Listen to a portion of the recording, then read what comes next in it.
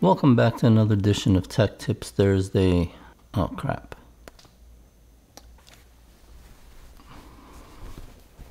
Okay. I got the new one here. Alright. This is much better. Alright guys, well welcome back to another edition of Tech Tips Thursday. Today's to be a short video. Uh, we're to be talking about motorcycle camping. Well, most specifically barbecuing while you're motorcycle camping. So we've had a lot of instances where we went camping and either the place that we're camping didn't have a grill or the grill was just so disgusting we didn't want to cook on it. So I always wanted to bring along a grill, but obviously they're way too big, way too cumbersome, too heavy, and they just take up way too much space to be carrying on a motorcycle. Until I came across this thing. So this is the mini flat pack grill and fire pit. Very compact size, but it's enough to make three servings. So when they say three servings, they're talking about like three burgers. You probably make two steaks and a couple of sides on it. So I pulled the trigger and I decided to pick one up and try it out. And I think this is a, a winner. Now, the size of this thing is tiny. It's nine and a half inches by eight inches by one and a half inch thick. I mean, it's tiny. It even comes with its own case, which is really nice. And this is all stainless steel, so it's rust resistant. And what's nice about it also is the sides serve as windbreakers, so you don't have to worry about the wind putting out your fire. And they claim that this is a 30 second setup, so let's check it out. It's only three pieces inside. This is the actual grill.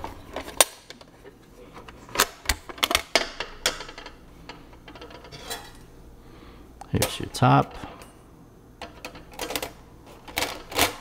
And that's all there is to it. They even give you this little utensil, you would call it. Uh, this is good if you want to lift it up without burning your hands. You can kind of grab it and move it around if you need to tend to the fire. Um, now this can hold charcoal, regular wood, and even little fire logs. So it doubles as a fire pit also. So if you ever just want to get a fire going, either to stay warm or just for the atmosphere, you can use that as well. Now this comes in two sizes. This is the small size that I took. There's also a bigger size, which is for six servings, and that one is 13 by 10 inches. So I'm going to be picking that one up too, and I'm going to keep that in the car just for when we're with the family, with the kids, and we just want to barbecue somewhere. You don't always have a grill, so this will work out. And it's not expensive at all. Uh, the small unit right now is selling for $26.99 and the bigger one, the 13 by 10, is $35.99. Real small price to pay for the convenience of it. Um, I love the fact of being able to make my my meals on my own grill and I like the fact of having a grill with me at all times. It's awesome. I think this thing is just going to live on the bike. The tear apart, it's just as easy as the setup. Just fold it. And I mean, literally, this is everything. This is your whole setup right here. And it comes with a nice case. It's a pretty thick case. Seems to be well made. It's got a nice Velcro on it. So just pop that in there. Throw a little utensil. And that's it. You're good to go. Very compact size. You can see it's tiny. Wouldn't take up too much space. I can throw it in the side case or in the trunk and have a barbecue wherever I am or a fire pit. So definitely recommend trying this out. And speaking of trying it out, let's go outside, cook up a couple of burgers, see how it actually works.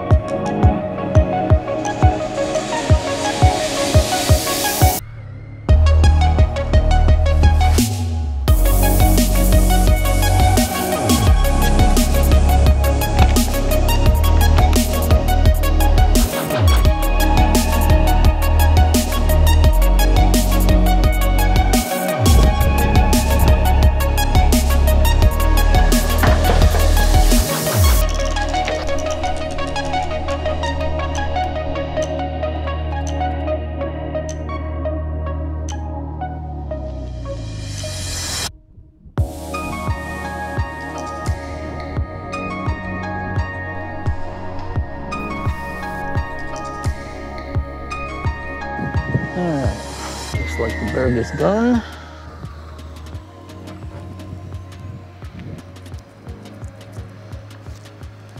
I could use another minute. And I know what we're missing. Can't barbecue without a beer. Well, when you forget your bottle opener, just grab your key. And there you go. Pop me in the face, but it'll work.